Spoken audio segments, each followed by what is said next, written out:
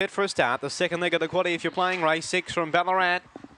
The 545 green light, they're set.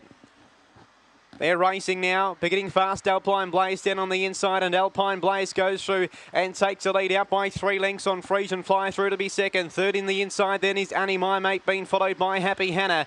Back on the inside came Frothy's Friday. A gap to Tiger Blurton. Second last is Brian, and last is Stands Hope off the back and down the side. Alpine Blaze in front. He's got company. Frisian Fly's only a half away. Three lengths to Happy Hannah and Annie My Mate. It's Alpine Blaze around the turn. Frisian Flyer trying hard. It's Alpine Blaze hanging on. One three quarters Frisian Flyer and third Happy Hannah. Fourth Tiger Blurton ahead of Frothy's Friday. Back toward them with Brian, Annie My Mate, and Stands Hope. One of the tail enders. The time 31 and 32 on race six from Ballarat.